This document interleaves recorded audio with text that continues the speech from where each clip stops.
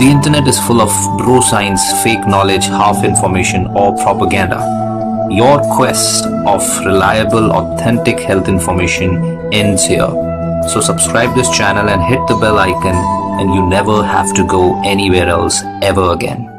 Hi everyone नमस्कार सो आज का हमारा टॉपिक होगा बवासीर पे बवासीर क्या है पाइल्स क्या है हीमोरॉइड्स क्या है सबसे पहले हम आपको बताएंगे कि ये होते क्या है फिर हम आपसे बात करेंगे कि ये कैसे होते हैं? क्यों होते हैं? किसको होते हैं? और अगर आपको है तो आप इसे कैसे ठीक कर सकते हैं? और अगर आपको नहीं है तो आप इसे कैसे प्रिवेंट कर सकते हैं? ये सारी बातें जानेंगे आज इस वीडियो, इस हमारी क्लास में। नमस्कार सभी को, और बहुत बहुत वेलकम हमारी क्लास में एक बार फिर हमारा सेशन चलिए शुरुआत करते हैं। राइट सो पाइल्स बवासीर हीमोरॉइड्स ये क्या है? क्या ये कोई इन्फेक्शन है? क्या ये कोई कैंसर है? क्या ये कोई ट्यूमर है? क्या है ये? जी नहीं, ये कोई इन्फेक्शन नहीं है। जी नहीं, ये कोई ट्यूमर नहीं है। जी नहीं, ये कोई ऐसी वैसी बाहरी बीमारी नहीं है। ये आप ही के शरीर का एक हिस्सा है। क्या ये नॉर्मल हिस्सा है? जी नहीं। ये एक एबनॉर्मल हिस्सा है जो नहीं होना चाहिए। आपके शरीर में, लेकिन आ गया। तो क्या है ये जो नहीं होना चाहिए, लेकिन आ गया? आपके शरीर में दो तरीके की खून की नसें हैं। एक तो जो लेके जाती हैं दिल से, आपके टिश्यूज को खून, रक्त वाहिका, जिसको आर्टरी कहते हैं, और एक जो वापस लेके आती हैं, जिन्हें वेन्स कहते हैं। जितनी आर्टरीज हैं, उससे कहीं ज़्यादा वेन्स हैं। क्योंकि वेन्स और वेन्स जो होती हैं, वो पेरीफेरी यानी बाहर की तरफ़ होती हैं जो यहाँ पे आपको कभी दिखेगी, कभी किसी के माथे पे दिखेंगी, कभी किसी के पैरों में काफ्स में, जो बाहर की तरफ़ खून की नसें दिखती हैं, वो वेन्स हैं। और जो अंदर की तरफ़ होती है, अंदर, जो पल्स महसूस होती है, वो आर्टरी है। तो यहाँ पर क्या हो रहा है? यही वेन्स आपके लैट्रिन के रास्ते के अंदर भी होती है। लैट्रिन के रास्ते के अंदर अंदर जो सारी वेन्स सब जगह पूरी, पूरे शरीर में वेन्स फैली हैं। जो लैट्रिन के रास्ते के अंदर वेन्स होती हैं वहाँ की वेन्स जब सूज जाती हैं, जब सूज जाती मतलब फैल जाती हैं गुब्बारे के जैसे जैसे गुब्बारा फैल जाता है इलास्टिक खींच खींच के लटक जाता है, वैसे ही ये वेन्स जब फैल जाती हैं तो उसे हम पाइल्स कहते हैं। उसे हम बवासीर, उसे हम हीमोरॉइड ये ऐसा क्यों होगा? क्यों कोई वेन ऐसी फैल जाएगी?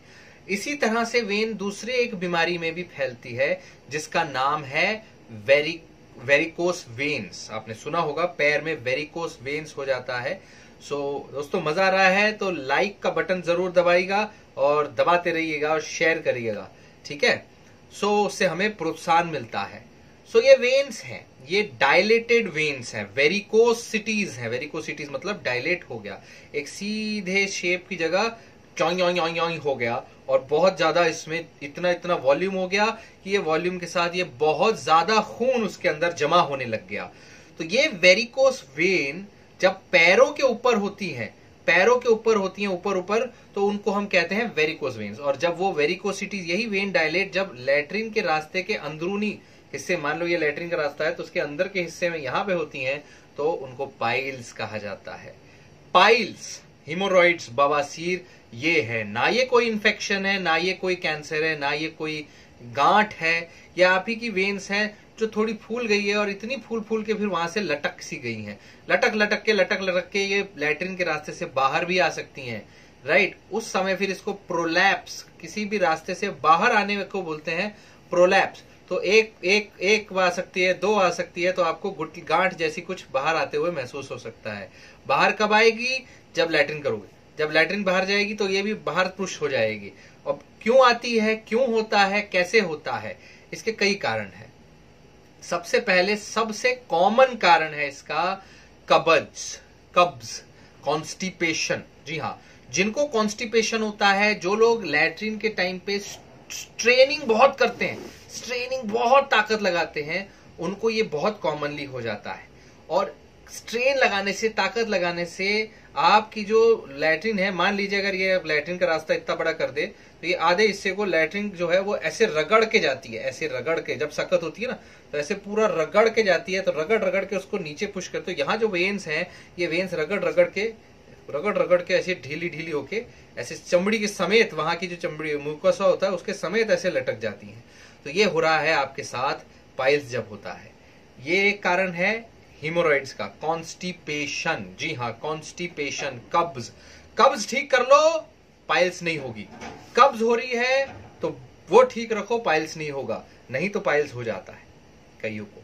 कईयों को इसी वजह से, एक का कब्ज के वजह से फिशर हो जाता है। सखत सखत लैट्रिन बाहर जाती है और क्रैक करके चल जाती है, जो बाहर का रास्ता है, उसमें चीरे आ जाते हैं उसको फिशर कहते हैं। तो पाइल्स भी होते हैं फिशर भी होते हैं। तो ये कब्ज एक कारण हुआ। दूसरा कारण इसका है लिवर डिज़ीज़, लिवर की बीमारी। क्या होता है लिवर की बीमारी? देखिए, जो लोगों को लिवर सिरोसिस होता है, जो लोगों को लिवर में फाइब्रोसिस होता है, फैटी लिवर के स्टेज के आगे, अल्कोहल बहुत ही ज़्यादा, दारू इतना पीते कि पूछो मत, उस चक्कर में लिवर खराब हो रहा है। लिवर क्या हो रहा है खराब? स्कार टिश्यू बन रहा है। स्कार टिश्यू क्या होता है? फाइब्रस टिश्यू होता है। जैसे आपको चीरा लगा तो इतना मोटा सा स्कार बन जाता है और जख्म सा स्कार गाढ़ा होता है, दूसरी चमड़ी नर्म होती है, स्कार मोटा होता है, हिलता भी नहीं है। तो वो स्कार टिश्यू लिवर के अंदर बनता है, पूरी बॉडी में कहीं भी डैमेज हो, स्कार टिश्यू बनता है। ज़्यादा दारू पीने से, ज़्यादा फैट खाने से, लिवर में इन्फेक्शन ज़्यादा देर vitamin hepatitis C hepatitis D D नहीं ए बी सी ये तीनों से। बी सी ज़्यादा ए से कम। तो हेपेटाइटिस से लिवर के अंदर एप्सेस हो जाने से लिवर डैमेज हो सकता है लिवर के अंदर फाइब्रोसिस हो सकता है, और लिवर ही एक ऐसा ऑर्गन है जहाँ पर जो भी खाते हो आप, जो भी पीते हो आप, पहले वो खाना पीना आपके लिवर में जाता है। पहले लिवर में जाता, कैसे जाता है? अगर लिवर में जाता है तो कोई तो खून की नस होगी जो लिवर में लेके जाएगी। वो खून की नस है आपकी वेन्स वेन्स का पूरा एक सिस्टम है। इसे हम पोर्टल वेन्स कहते हैं। पोर्टल वेन वो वेन है जो लिवर तक जाती है। कहाँ से कहाँ तक खून लेके जाती है? आपके मुँह से, खाने की नली से, पेट से, छोटी आंत, बड़ी आंत, लैट्रिन के रास्ते तक, एनस तक, ये सबसे जो खून निकलता है, जो खाना एब्जॉर्ब होता है, जो न्यूट्रिएंट जो टॉक्सिन जो भी आप खाते हो एब्जॉर्ब होता है, ये सब पहले जुड़ के, नसें छोटी छोटी जुड़ के एक बड़ी वेन बनाती है जो पोर्टल वेन बोला जाता है, इसे पोर्टल सिस्टम कहते हैं। ये पोर्टल वेन जब लिवर के अंदर खून पहुँचना लिवर में फाइब्रोसिस लिवर स्टिप लिवर ज़्यादा खून एक साथ नहीं ले पा रहा। जितना ले सकता उतना नहीं। तो इसमें प्रेशर इसमें भी कई बार फाइब्रोसिस पोर्टल वेन हाइपरटेंशन तो पोर्टल वेन का अंदर का जो प्रेशर है, वो बढ़ गया। पोर्टल वेन का प्रेशर बढ़ जाएगा तो क्या होगा? बैक प्रेशर आएगा। कहा? इन सारी नसों में। आपके खाने की नली से लेके लैटरिन के रास्ते तक सारी की सारी वेन्स डायलेट होती जाएँगी। पेट के ऊपर की वेन्स डायलेट होंगी। लैट्रिन के रास्ते में बवासीर होंगे। खाने के रास्ते में इसोफेजियल वराइसिस खून की ब्लीडिंग लैटरिन से भी हो सकती है, नीचे से ऊपर से भी हो सकती है। ब्लीडिंग क्यों होगी? जब भी ये वेन्स इतने ज़्यादा डायलेट हो जाते हैं तो डायलेट होके जैसे गुब्बारा फूल फूल के पतला पतला पतला होता फट से फूट जाता है। वैसे ही वेन डायलेट डायलेट डायलेट होके वो पतली हो जाती है। तो फिर जब सकत सकत सकत लैट्रिन वहाँ से जाती है, ऐसे खच से तो वो सकत सकत लैट्रिन उसको रगड़ के जाती है, रगड़ रगड़ के सूजन करती है और फिर उसमें से खून रिसने लगता है। खून रिसने लगता है। कई बार फक से बड़ी तरह से ब्लीडिंग भी हो सकती है। इसलिए किसी को खून की उल्टी आ सकती है लिवर डिज़ीज़ वाले में। बवासीर में नहीं, बवासीर में खून आएगा नीचे लैट्रिन में, ठीक? फिशर क्या होता है? हमने देख लिया बवासीर, हमने देख लिया फिशर। हम, फिशर क्या होता है? ये लैट्रिन के रास्ते में, जैसे आपकी एड़ियाँ फट जाती है ना, पैर फट जाते क्रैक आ जाता है, वैसे ही लैट्रिन के रास्ता मान लीजिए, उसके आसपास ऐसे एड़ियाँ फटे हुए, यहाँ पे क्रैक्स आ जाते हैं क्रैक क्रैक क्रैक, वो फिशर है। अब क्रैक क्या होता है? जब भी लैट्रिन होती है तो वो लैट्रिन का रास्ता खुलता है। वो पूरा उसको बाहर भेजना तो जब भी लाइटिंग रास्ता खुलता है, वो क्रैक स्ट्रेच होता है। जब क्रैक स्ट्रेच होता है, और फटता है, खून निकल सकता है क्रैक में दर्द हो सकता है फिशर बहुत पेनफुल होते हैं। लेकिन पाइल्स में पेन नहीं होता। बवासीर में कोई दर्द नहीं होता, क्योंकि बवासीर क्या है? ये तो सूजी हुई नसें हैं, सूजी हुई खून की नसों में काय का पेन क्यों पेन हाँ जब तक वहाँ इंफेक्शन ना हो जाए, जब तक वहाँ अंदर कोई खून का क्लॉट ना आ जाए तब तक पेन नहीं होता। तो बवासीर में अगर खून का क्लॉट आ जाए तो ऐसा पेन होता है भैया आप घर नहीं बैठ पाओगे। बवासीर के भी, भी बहुत सारे टाइप्स हैं। एक होता है इंटरनल एक होता है एक्सटर्नल इंटरनल में भी दो हैं। एक होता है लो लाइंग जो नीचे नीचे बिल्कुल बाहरी रास्ते के पास है। एक होता है हाई हाई मतलब अंदर के अंदर लैट्रिन के रास्ते में काफ़ी अंदर जाके सूजी है। तो ये प्रकार होते हैं। उन प्रकार से उनके इलाज होते हैं। एक्सटर्नल पाइल इंटरनल पाइल्स है, लेकिन खून की नसें सूजी हुई। तो ये दो मेन कारण है इनके, ठीक है? तो आपको क्या करना है? लिवर को खराब नहीं रखना, लिवर को हेल्दी रखो, दारू ज़्यादा नहीं पीना। विटाम आपके क्या नाम है फैट ज़्यादा नहीं खा मोटे नहीं रहना, ना लिवर में फैट जमा होता है, नैश हो सकता है, लिवर की बीमारियों में हमने देखा। और साथ ही आपको कॉन्स्टिपेशन कब्ज ठीक रखनी पड़ेगी। अगर आप कब्ज के शिकार हैं, अगर आपको कब्ज होता है तो आपको कब्ज ठीक रखना इंपॉर्टेंट है, वरना आपको पाइल्स हो जाएँगे। खतरा होगा पाइल्स का, ठीक है? तो ये हुई बात, क्या है पाइल्स क्यों होता? किसको होता? और कैसे प्रिवेंट करना है? किसको होता में? बुढ़ापे में ज़्यादा हो जाएगा। प्रेग्नेंट लेडीज़ को ज़्यादा चांसेस होते हैं। जो लोग इम्यूनो कॉम्प्रोमाइज होते हैं, जिनकी बॉडी वीक होती है, उनकी बॉडी ज़्यादा चांसेस होते हैं। राइट बेसिक चीज़ें हैं। फिर पाइल्स में सेकेंडरी इंफेक्शन हो सकता है। आपने पाइल्स में इंजेक्शन लगवाया कि ट्रीटमेंट पहले बताते हैं। ट्रीटमेंट क्या है? ये सूजी हुई वेन्स का ट्रीटमेंट बिल्कुल वेरिकोस वेन जैसे पैर में सूजती है, वैसे अंदर लैट्रिन के रास्ते में जो आपकी सूजी हुई नसें, उनका भी ट्रीटमेंट एक इंजेक्शन लगाने से ट्रीटमेंट होता है, एक बैंड लगाने से ट्रीटमेंट होता है ऑपरेशन करने से ट्रीटमेंट होता है क्लिप लगाने से ट्रीटमेंट होता है। नहीं, ये क्या है? ये क्या है क्लिप क्लिप क्या चीज़ है?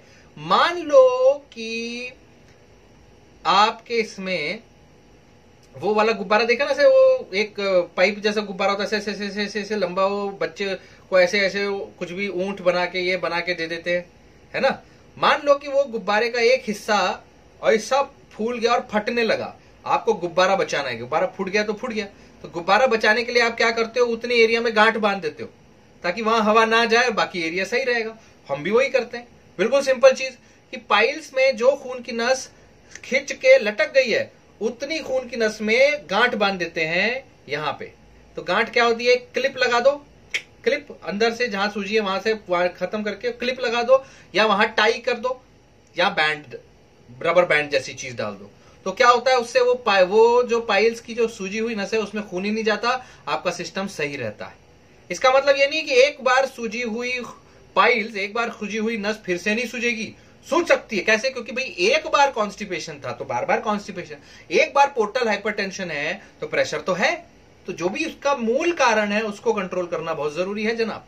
मूल कारण को कंट्रोल करना ज़रूरी है। साथ में, बहुत ज़्यादा सूजी हुई नस, बहुत पतली नस, जो फटने के कगार में है या खून आता है लैट्रिन में तो भी फिर आपको बार बार खून आता है तो फिर आपको बैंडिंग क्लिपिंग या इंजेक्शन करना चाहिए। इंजेक्शन क्या है? स्क्लेरोसिंग एजेंट होता है, जो उस खून की नस में इंजेक्शन लगा दिया जाता है तो खून की नस अपने आप सुकुड़ जाती है। यही चीज़ पैरों में भी करते हैं वेरिकोस वेन में यही चीज़ इसमें भी करते हैं। वेरिकोस वेन में क्या होता है? बाहर बाहर से पैरों में अल्ट्रा अल्ट्रासाउंड रेडिएशन यानी लेजर से भी ट्रीटमेंट करते हैं। Laser laser laser laser laser लगा देते हैं। लेजर से वो ठीक हो जाता है। कभी बार अंदर से भी लेजर करते हैं। आ, लेजर के ट्रीटमेंट पाइल्स के बवासीर के बहुत रेयर होते हैं। नहीं के बराबर मान लीजिए। बाद में होता है ऑपरेशन जिसका नहीं ठीक हो रहा जिसको होते जा रहा जिसका ब्लीडिंग हो रहा जिसको ऐसी तैसी होगी भाई मैं तो खून की कमी में तो ज़िंदगी बर्बाद। उस इंसान के लिए फिर होता है ऑपरेशन ऑपरेशन करते हैं general surgeon gastro surgeon uro surgeon uro surgeon भी करेक्ट सर्जन कोई भी कर लेगा, जनरल सर्जन वाला काम है। सर्जन करते हैं। तो सर्जन ऑपरेशन करते हैं पवासीर का, पाइल्स का, और ऑपरेशन के बाद में फिर पाइल्स हो सकता है अगर आपने मूल कारण को नहीं ठीक किया। मीन सिर्फ़ ऑपरेशन या सिर्फ़ इंजेक्शन सिर्फ़ बैंडिंग इलाज नहीं है। इसके ग्रेड होते हैं grade one grade two grade three grade four piles के। ग्रेड वन ग्रेड टू में पाइल्स होता है, अंदर ही अंदर होता है। ग्रेड थ्री ग्रेड फोर में पाइल्स बाहर आ गया। बाहर आ गया प्रोलैप्स हो गया। तो ग्रेड थ्री ग्रेड फोर है, तब तो कुछ ना कुछ कराना पड़ेगा। इंजेक्शन लगाओ बैंड लगाओ क्लिप लगाओ ऑपरेशन कराओ। कुछ तो कराना पड़ेगा। अगर ग्रेड वन ग्रेड टू है पाइल्स बाहर नहीं आ रहे हैं तो grade one grade two piles में कबज ठीक करो। यानी कि लैट्रिन पतला करने वाली दवाएँ लेग्जेटिव्स केले, पपीता ऐसे ज़्यादा खाओ, पानी फाइबर ये सब गोल सॉफ्टवैक ये सब खाना पड़ेगा। ताकि लैट्रिन पतली रहे रगड़ के ना जाए और पाइल्स ना बने, खून ना बहे। और खून बह रहा है तो खून बढ़ाने की दवा। नीचे कुनकुने पानी में दिन में तीन चार बार बैठना होता है सिट्स बात कहते हैं इसको। इससे वो एरिया सॉफ्ट होता है, वो एरिया स्मूथ होता है, आराम से लैट्रिन निकल जाएगी, दिक्कत नहीं होगी, और हील होगा, सूजन कम होगी। पाइल्स के लिए क्रीम लगानी पड़ती है नीचे से। एक तो एनेस्थेटिक क्रीम लगाते हैं। क्यों लगाते हैं एनेस्थेटिक क्रीम एनेस्थेटिक मतलब वहाँ सुन करके। कब लगाते हैं? लेटरिन करने से दस पंद्रह मिनट पहले। क्यों लगाते हैं? मान लीजिए आपको दर्द होता है पाइल्स में। आपको लेटरिन करते करते दर्द होने लग गया थोड़ा सा तो आप लेटरिन नहीं करोगे, आप रोक के रख लोगे, रोक के रखोगे, अंदर ही अंदर वो सख्त होती जाएगी, सख्त होती जाएगी, सख्त होती जाएगी, सख्त होकर बड़ी होती जाएगी। और फिर जब आप एक बार करोगे तो वो फाड़ देगी। है कि नहीं? तो इसीलिए मोशन टाइम पे करना है, मोशन रोक के नहीं रखना है और मोशन करने से पहले लिग्नोकेन लगाना है ताकि मोशन कर पाओ। और सिर्फ़ बात करनी है, दिन में चार बार ताकि सूजन कम हो जाए। तो लिग्नोकेन के साथ कई बार स्टीरोइड बेस्ड क्रीम होती है सूजन जल्दी कम करने के लिए। कई बार एंटीबायोटिक क्रीम होती है मेट्रोजिल वाली। तो बहुत सारी चीज़ें आई हैं जो आपके डॉक्टर आपका केस देख के आपको बताएँगे कि भैया आपको इस चीज़ की ज़रूरत है। सो सर्जन के पास जाओ जनरल सर्जन एमएस सर्जरी वाले डॉक्टर के पास। वो बताएँगे आपको कि इसके, आपके केस में बेस्ट इलाज क्या है। तो ये हुई बात दोस्तों, सारी बात आपकी बवासीर की, पाइल्स की, कोई और चीज़ से इसको खत्म नहीं किया जा सकता। Thank you so much